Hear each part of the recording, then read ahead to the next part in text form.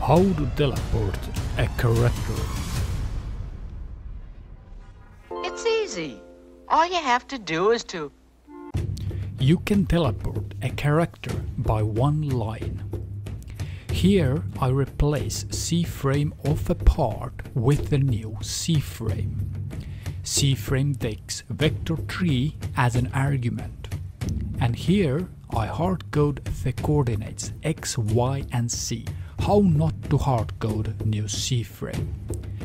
Instead of hardcoding the coordinates, create a new part and move it to the desired location in the game.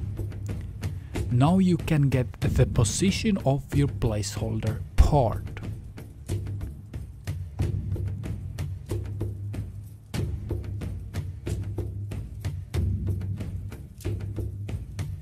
How to know what properties base part has? You can find the base part documentation on Roblox website.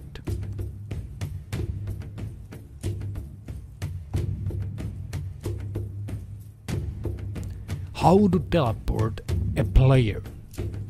Get the root part of the player's character and simply change the C-frame. Thank you!